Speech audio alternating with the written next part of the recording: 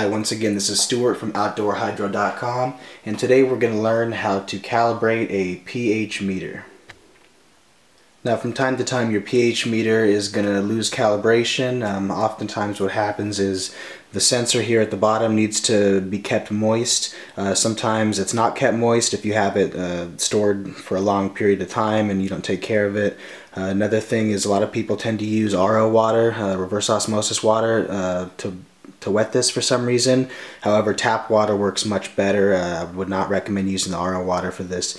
Uh, but anyways, this pH meter is about a year old and if if you've had something for about a year like this, it, it usually tends to get a little uncalibrated. Uh, like right now, for example, I put it in my tap water, which normally registers as a 7, uh, and it came up as an 11. So I know that it needs a little bit of calibration. So that's what we're going to be doing today.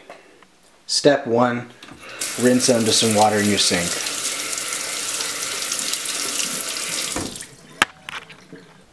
Step two, we're going to take some water and some dish detergent, put it in a little plastic cup, and we're just going to kind of gently swish it around in there to get off any excess residue that may be on there from your nutrient solution or anything else.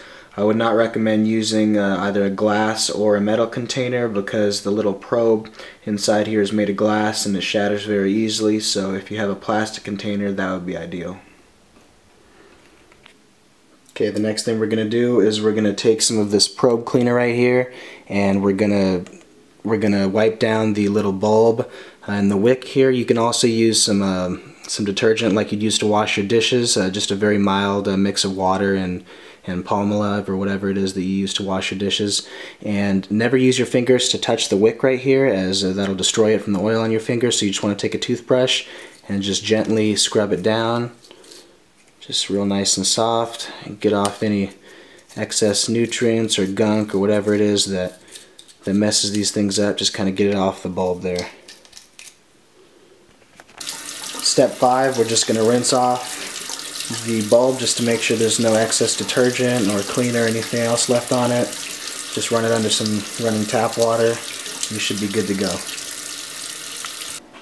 now our next step is going to be to calibrate it and the way we do that is to take a solution which we know to be pH 7 and pH 4 and we're going to we're going to put our pH meter in each one and then manually calibrate it to 7 and then back down to 4.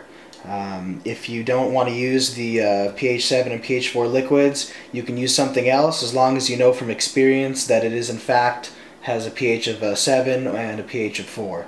Uh, if you have water that's a perfect 7, then go ahead and use that instead of buying this. But this at least gives you a foolproof uh, way of measuring it. Okay, so first we're going to put our meter in, the pH 7.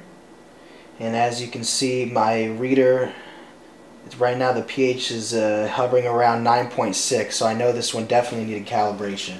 So I'm going to press the calibration uh, button here by holding this down and then that'll allow me to manually calibrate it.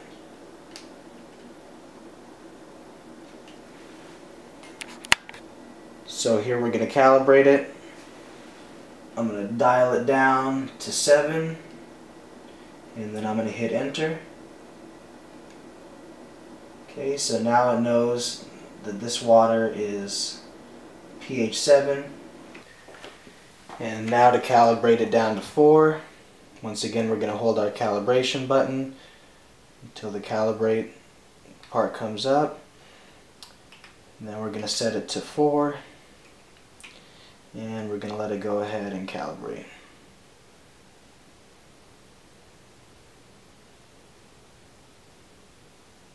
And there we go. So now if we turn it off, turn it back on again, dump it in the water, you'll see it's at a perfect 4. Now let's try it with the 7 just to make sure that that one stuck as well. And pretty close. We got about a 6.9. Oh, there we go, 7.0. So now the device is perfectly calibrated.